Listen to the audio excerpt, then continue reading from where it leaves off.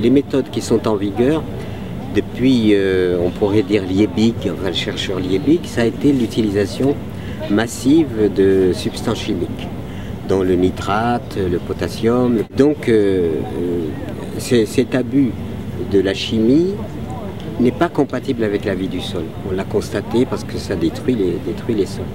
Donc on est revenu à essayer de trouver des méthodes qui, qui soient compatibles avec la vie du sol. Le sol doit être d'abord vivant. C'est un organisme vivant à part entière. Il y a des microbes, il y a des, insectes, il y a des vers de terre, il y a, euh, un bouillonnement de vie dans le sol qui est, extrêmement important. C'est ce que la pédologie, par exemple, a révélé. Et eh ben, ce sol vivant, eh il faut le maintenir vivant.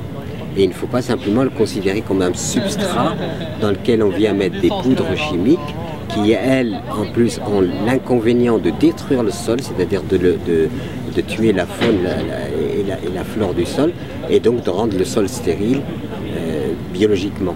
Et après, on compense évidemment uniquement par des substances chimiques. L'humus, étymologiquement, humus, humanité, humidité, humilité, c'est la même chose. Donc ce qui veut dire que c'est un, c'est un élément du rebondissement de la vie. Euh, donc voilà, l'agroécologie ou l'agriculture biologique s'inspire de cette transformation euh, de la matière pour lui redonner une nouvelle dynamique et c'est ce que nous nous appelons l'agriculture biologique.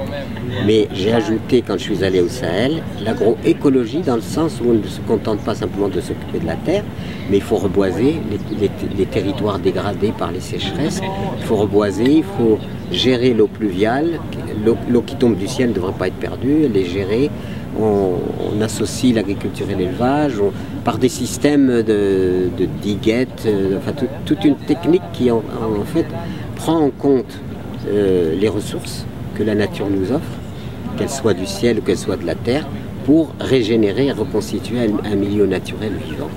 Et un agriculteur écologique ou biologique, ben, il va être attentif à comment la vie s'y est prise pour venir jusqu'à nous, parce qu'après tout, nous, nous sommes venus très récemment hein, sur cette planète. Euh, nous pouvons être intelligents par euh, euh, l'intuition et ce que nous pouvons ressentir de la vie en l'aimant. Si on aime la vie, on a envie que la vie vive. Et c'est aussi pour nous, parce que si la vie disparaît, nous disparaissons. Donc, donc il y a un, ajustement à faire entre les prétentions humaines démiurgiques où l'homme serait dominant par rapport à la réalité naturelle, qui cette réalité naturelle est pleine d'enseignements. Voilà, on a cette capacité de participer à la dynamique de la vie, et malheureusement, nous sommes installés beaucoup dans la dynamique de la mort. Euh, on consacre beaucoup d'argent aux armements, on consacre, il, y a, quand même une psyché collective un peu démente.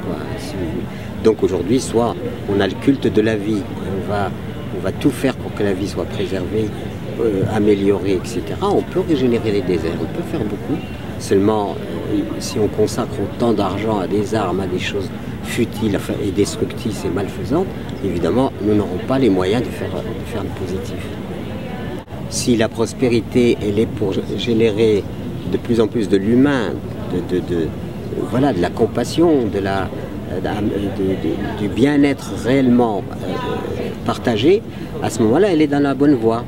Mais aujourd'hui, on peut dire que la société, le paradigme fondamentale du monde d'aujourd'hui, c'est à donner quand même au lucre, disons à la finance, euh, la, toute-puissance. Ce qui fait qu'un être humain, même dans un pays prospère, n'a pas. S'il ne s'il sert à rien, on le met dehors. on ne raisonne pas en termes, il faut absolument que les humains soient heureux, on raisonne en termes pourvu que le PNB, le produit national brut, euh, ou le PIB augmente.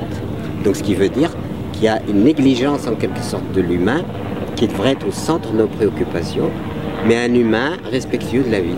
Et à ce moment-là, quand il est respectueux de la vie, si je suis respectueux de la terre, je suis respectueux de moi-même. Parce que la terre me nourrit, et si je soigne la terre, je me soigne, et ainsi de suite. Donc il y a un nouveau paradigme euh, qui, doit être mis en place et qui repose sur une, pensée complètement différente et qui surtout nous délivre de ce toujours plus euh, euh, stérile et malfaisant.